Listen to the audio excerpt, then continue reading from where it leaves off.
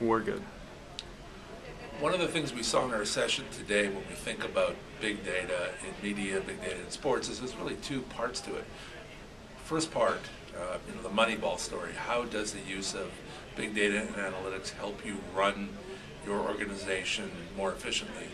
Whether it's understanding who to pitch on a rainy day in Seattle, or whether it's trying to understand how to tune a trailer for a movie to attract the particular demographic that you're looking for. So that's one side. That's about how you run your business, Yeah, well, it's. be uh, in media or this be it in sports, using big data as a, as a tool.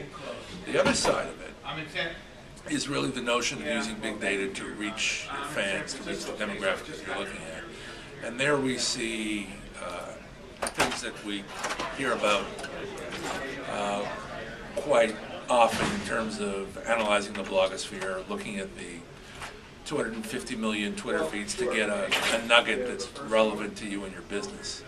So that's an emerging, if you like, a, an aspect of uh, marketing, understanding who you're selling to, tuning your business for your customers, as opposed to tuning the internal operations of your business, make it more efficient. Both are critical, both are important, and what's fascinating is in the session this morning, we really heard uh, that duality come across.